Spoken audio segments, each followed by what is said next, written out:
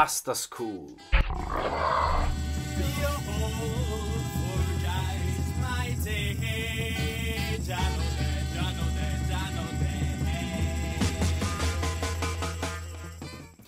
La luna piena illumina il cielo e nel campo militare il silenzio diventa ogni secondo più assordante. Non una canzone, non una frase sotto le stelle. I soldati neanche pensano più per non fare rumore. 29 febbraio, ore 22, le brigate di Albertone, Arimondi e da Bormida lasciano il campo seguite dalla brigata di Elena. Non era mai successo che 18.000 uomini marciassero all'unisono avvolti da tale silenzio, ma faceva parte del piano, il fattore sorpresa. Due schieramenti. Da un lato 500 ufficiali, 11.000 soldati italiani e 6.500 mercenari indigeni, con un totale di ben 56 pezzi di artiglieria. Dall'altro un mistero grande come il corno d'Africa e un nome spaventoso, Menelik. È una notte speciale, un tiepido vento rende l'orizzonte particolarmente terzo e lontane dal chiarore della luna si possono quasi contare le stelle. L'altipiano è impervio, ostile, ciò non di meno l'aria che si respira è quasi dolce. Sicuramente un buon giorno per vivere, non è mai un buon giorno per morire. Questo stanno pensando 18.000 coscritti all'unisono, senza fare rumore. Tra i soldati semplici c'è anche Michele, vent'anni, di Varese. È la prima volta che viaggia all'estero e assieme a quello delle munizioni ha anche un sacco di voglia di tornare a casa.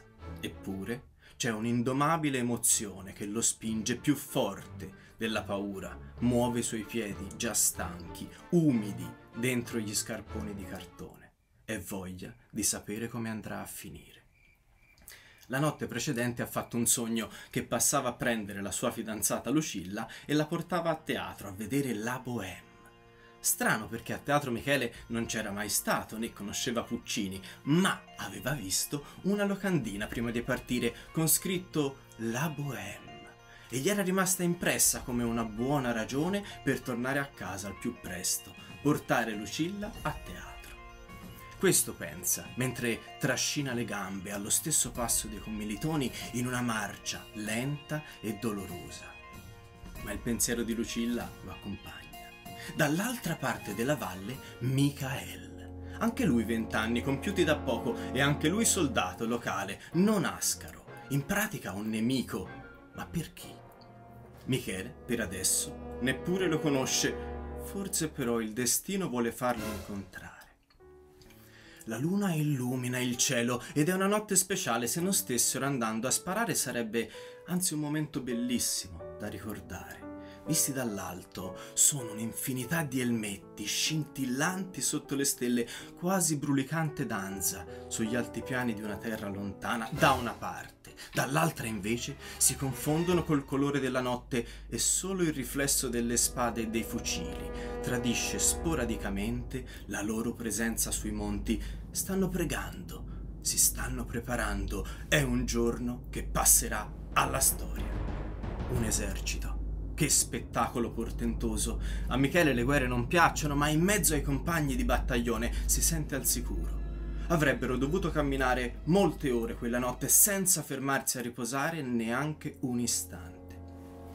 L'obiettivo era far giungere la brigata di Albertone guidata dai soldati indigeni sul colle Kidane Meret entro le 5 del mattino successivo, ma qualcosa non va secondo i piani. Sotto il bagliore di costellazioni straniere e le lente truppe di Arimondi e da Bormida si attestano sull'altipiano Rebbi Arienni a una distanza eccessiva da Albertone, restando perciò senza protezione sul fianco occidentale. I loro movimenti notturni vengono subito osservati dalle vedette nemiche che corrono ad avvisare il proprio capo, assorto in preghiera nella chiesa di End Gabriel. Questione di attimi, di coordinate imprecise, l'esercito italiano si sta mettendo da solo in scacco in un ambiente sin troppo ostile senza alcuna via di uscita ore 3 e 30 minuti, primo marzo 1896, è l'alba di un nuovo giorno per l'Italia. Michele vorrebbe intonare una canzone, ma è assolutamente proibito anche parlare. E poi ci sono i grilli, che riuniti in fondo alla valle formano un coro degno di un esercito reale. Non fanno guerre loro, ma friniscono, o meglio, cantano, sfregando le ali. Michele li aveva sentiti solo d'estate in Italia, ma adesso è in Africa. E tutto è diverso, anche gli insetti, il clima, i monti, persino le stelle. Intanto, stretti e compatti, proprio come una montagna di insetti, i drappelli di Albertone avanzano decisi verso la vetta del Kidane Meret. Dall'altra parte della valle, Michael sta pregando. È domenica e il culto cristiano ortodosso è assolutamente rispettato nella sua terra, qualcosa di inspiegabile, intrinseco, profondamente radicato nel cuore di ogni credente. Nemici? Eppure tutti credevano nello stesso Dio, non era religione, la ragione di tale scontro. Michael congiunge le mani e prega in amarico per una giornata di pace senza morti, ma in cuor suo sa già che Dio non potrà ascoltarlo. Michele non prega, non ha mai creduto davvero nella Chiesa, però crede in qualcosa più grande della patria, più forte della distanza che li separa, il suo amore per Lucilla.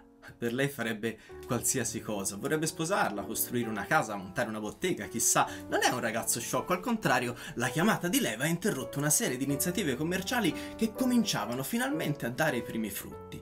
Sembra che la giusta amministrazione e gestione dei pochi risparmi di famiglia sia per lui un dono naturale, come un innato talento per far buoni affari. Di queste sue idee e attività a volte parla col commilitone Luigi, figlio del famoso imprenditore Ferdinando Bocconi, una famiglia di impresari benestanti e con amicizie influenti. Michele sarebbe piaciuto studiare commercio-economia, ma aveva iniziato a lavorare a soli 11 anni e da allora non aveva più aperto libro. Chissà che un giorno...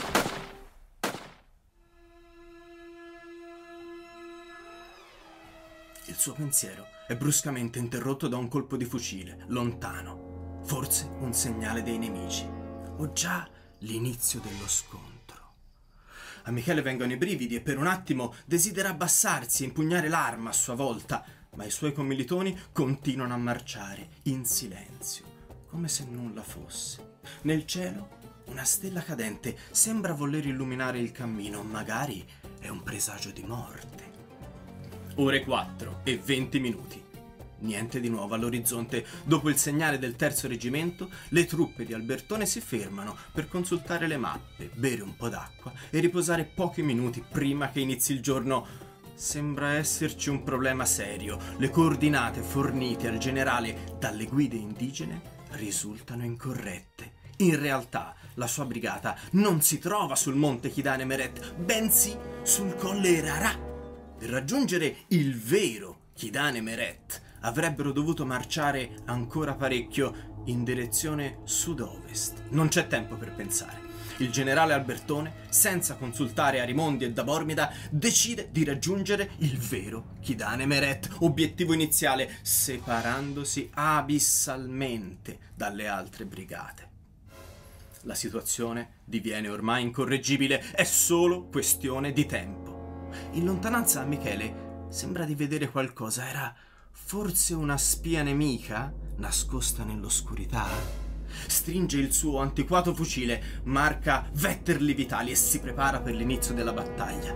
È un modello del 1870 non adatto per una guerra alle porte del Novecento. Dall'altra parte della valle, Michael sta lucidando la sua arma da fuoco. È uno dei pochi fanti ad averla in dotazione, oltre al pugnale, e si sente fortunato è un antico moschetto a miccia, lasciato dai soldati ottomani nel periodo di invasioni quasi due secoli prima, ma per lui non è obsoleto.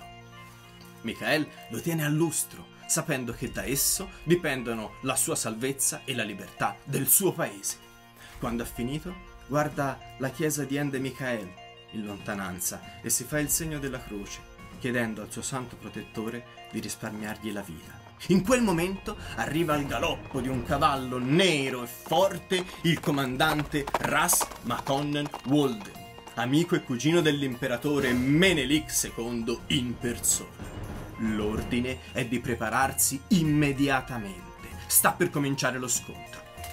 Ore 5 e 10 minuti, in lontananza, dietro le montagne, le primissime luci dell'alba. Nei pressi di Adua è tutto pronto per il combattimento, manca solo il segnale della cavalleria. Michele non crede in Dio, ma si fa il segno della croce lo stesso, non si sa mai, pensa, e intanto stringe il fucile. A pochi passi di distanza, l'amico Luigi lo guarda silenzioso e strizza l'occhio, come a dire ce la faremo. Non possono parlare di commercio economia adesso, c'è una guerra da vincere per creare l'impero d'Italia. Abissinia o morte! Poco davanti a lui, l'avanguardia italiana del battaglione indigeni raggiunge gli avamposti nemici nei pressi della chiesa dei End Michael. La raffica di un mitragliatore spezza il silenzio assordante, segnando ufficialmente l'inizio della lotta. Le prime truppe italiane, sicure del proprio vantaggio logistico e di armamenti, vengono invece travolte subito dalla carica di cavalleria di Ras Maconnen Wood, coraggioso cavaliere europeo. L'attacco è così violento da investire anche la seconda linea italiana, obbligando il generale Albertone a ripiegare dal Chidane Meret per attestarsi sulle pendici occidentali del monte Semaiata. Coprire le retrovie restano solo due batterie da montagna, comandate dal capitano Bianchini con l'ordine di resistere fino all'ultimo uomo. Ragazzi che in pratica sarebbero morti tutti, ancor prima del sorgere del sole. Michele fortunatamente non è tra loro. Michele invece è sempre al fianco del suo RAS, in prima linea, nel sanguinoso scontro. Il suo antiquato fucile ad avancarica serve comunque a difenderlo e almeno a far scappare il nemico, se non ad uccidere. Michael è molto devoto alla Madonna, a Cristo e soprattutto al suo santo protettore e per lui l'idea di ammazzare un essere umano è impensabile, anzi mostruosa. È contro i dettami della Bibbia, contro i comandamenti del Kebrenegest, contro le parole dei Vangeli. Come credente questo lo sa bene. Si trova lì solo per difendere la libertà del suo impero, l'onore del Negus e il futuro dei suoi discendenti. Ma in cuor suo prega tristemente per la pace e per l'alba di un mondo davvero nuovo, senza più armamenti. Ore 6 e 40 minuti dopo un'ora di scontro serrato, sul suolo di Adua si contano già centinaia di morti italiani. Ma è solo l'inizio della disfatta. I mercenari ascari infliggono pesanti perdite ai loro vicini abissini, ma finiscono ben presto le munizioni e vengono perciò aggirati sul fianco sinistro da una colonna etiope scesa dal monte End. Feroci attacchi della cavalleria di Rasmakonnen, coperti da raffiche di mitragliatrici e cannoni a tiro rapido, mettono in ginocchio le truppe di Albertone e il generale stesso viene preso prigioniero è il principio della fine.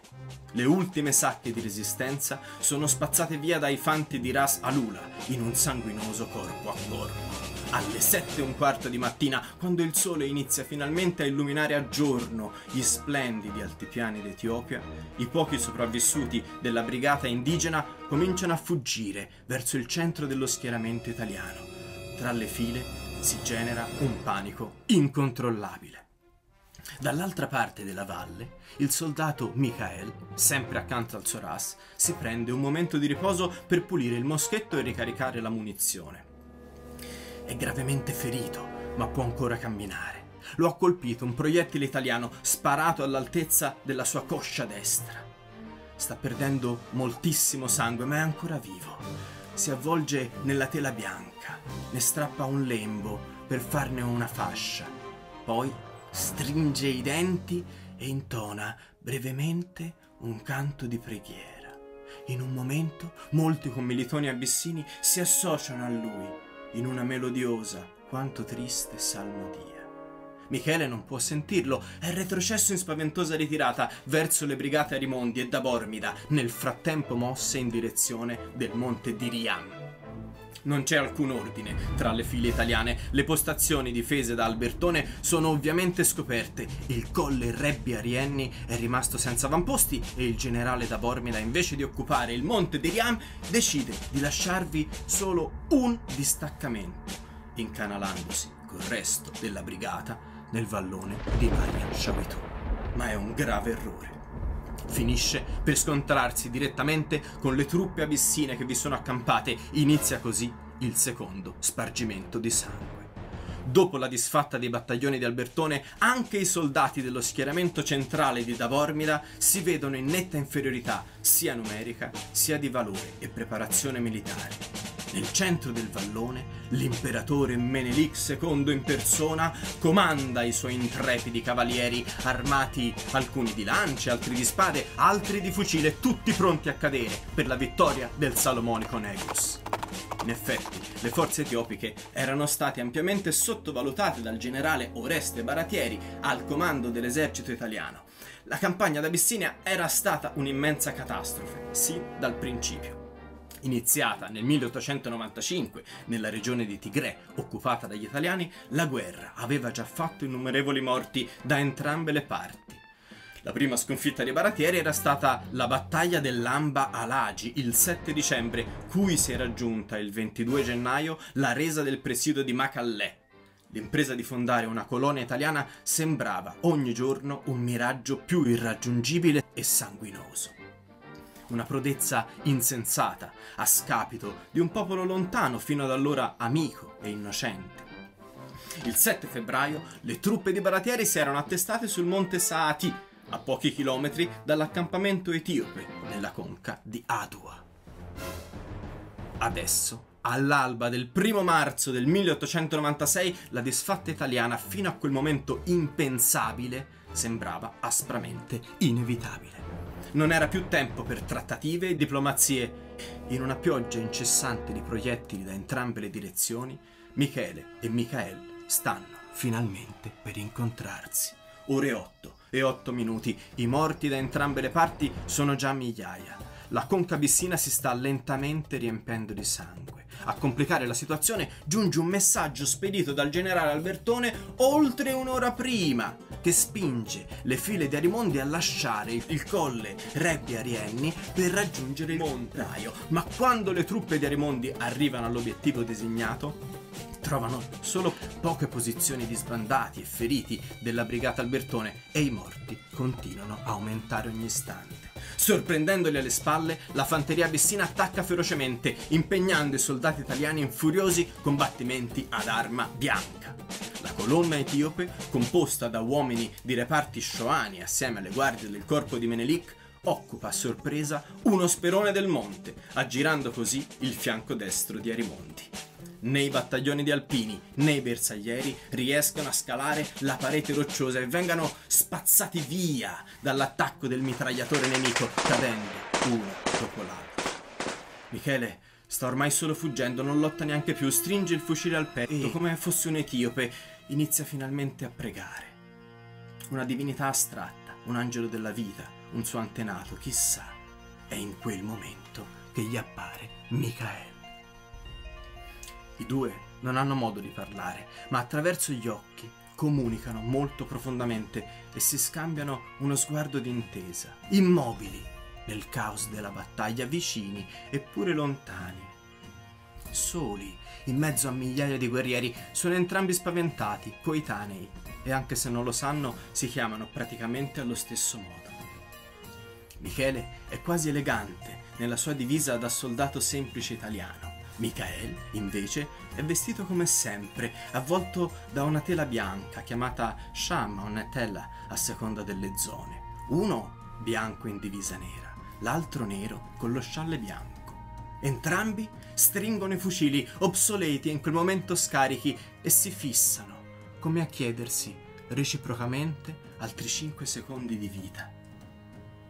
Michele corruga la fronte e in un istante calcola la distanza. Cosa avrebbe potuto fare? Come salvarsi la vita? Poi lancia il fucile a terra e si mette in ginocchio. A pochi metri di distanza, Michael lo scruta sorpreso e per un attimo il tempo sembra fermarsi.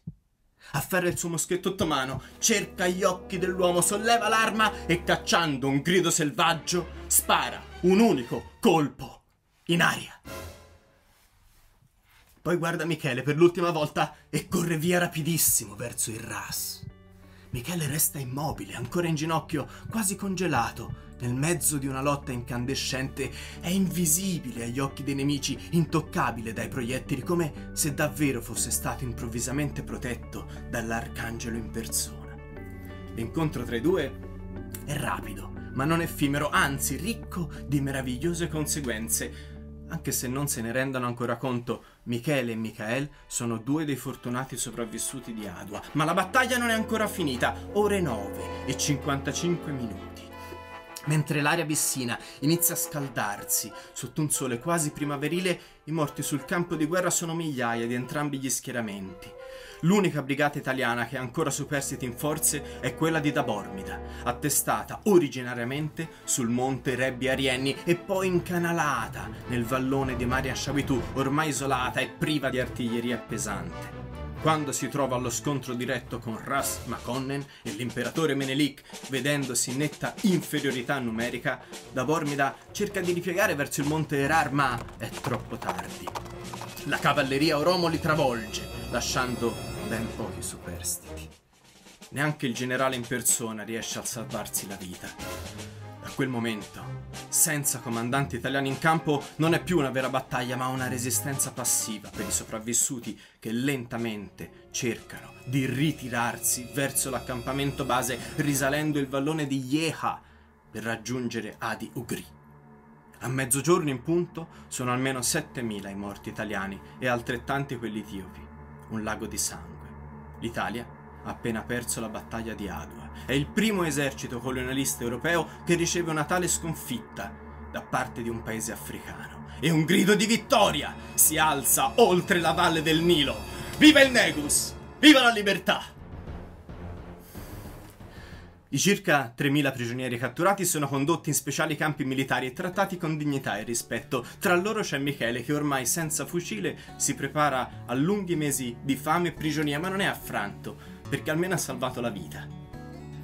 La stessa sorte non è toccata al suo giovane amico Luigi, l'ha visto cadere a pochi metri di distanza, trafitto da una lancia della cavalleria abissina, senza poter far niente, neanche il tempo di un saluto. Michele versa una lacrima silenziosa per il commilitone pensa alla sua famiglia lontana e soprattutto a Lucilla. L'avrebbe rivista, in un modo o nell'altro, e l'avrebbe portata a vedere la Bohème. Lui era ancora vivo Destino meno felice per i mille ascari catturati considerati traditori dagli etiopi ricevono una terribile pena. Amputazione della mano destra e del piede sinistro, onde renderli inabili a qualsiasi attività militare. A causa di tali strazianti torture e grida di dolore, inizia a spargersi nel campo la voce che stessero evirando i soldati italiani, ma fortunatamente è solo una leggenda. La situazione tra Italia ed Etiopia resta comunque sospesa in pericoloso bilico tra la guerra e una tregua. La notizia telegrafata dal generale Baratieri al presidente del Consiglio Francesco Crispi all'indomani della battaglia è da sola sufficiente per far cadere l'intero governo italiano. Dopo mesi di trattative e negoziati, a ottobre del 1896 viene finalmente firmata la pace di Addis Abeba che abroga il trattato di Uccialli e riconosce in modo ufficiale l'indipendenza dell'Etiopia. E in cambio di 4 milioni di lire vengono anche liberati tutti i soldati italiani rimasti prigionieri in Abissinia. Tra loro a tornare a casa finalmente cantando c'è anche Michele. Dimagrito, un po' turbato, ma c'è.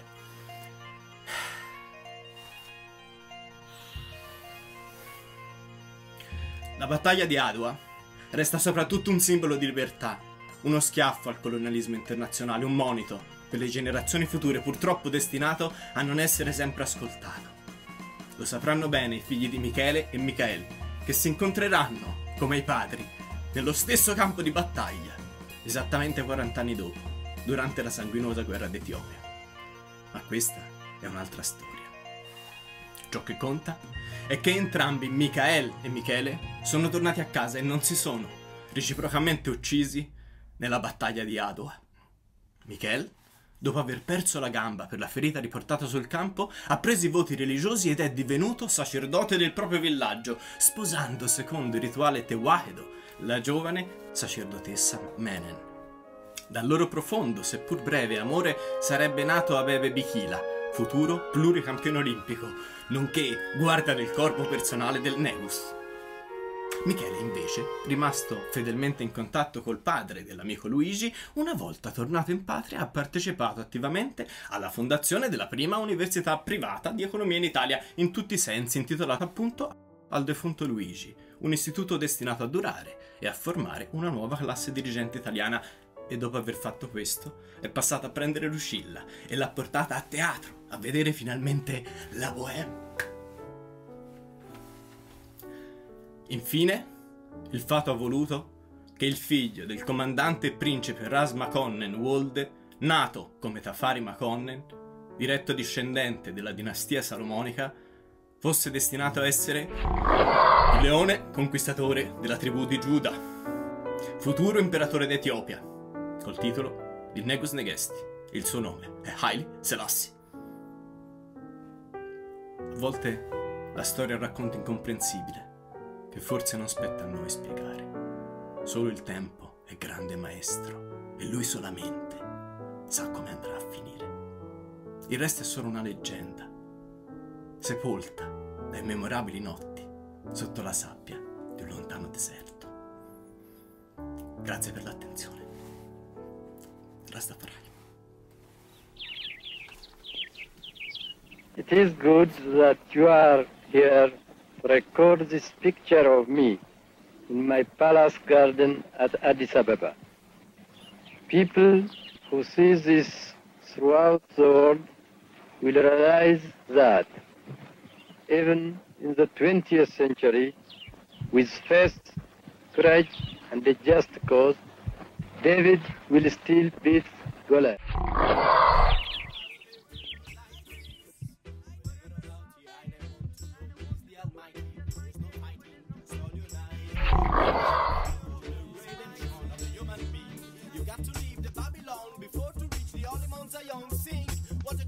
Team we make the opposite we were supposed to be. Still the mighty Jah bring the spirit of thy heart out of sin. So praise I, watch I, respect I, and I say hi, back why. Never, ever give up no fight for Jah, Jah children right. Those they rise and shine, will come again. Now it was in the beginning, shall be in the end. So say no more, no more again, no more slavery, no more trouble, no more war. I say, hear me, killing the giant of the system, like the king. And missing the son of victory, love, unity, blessed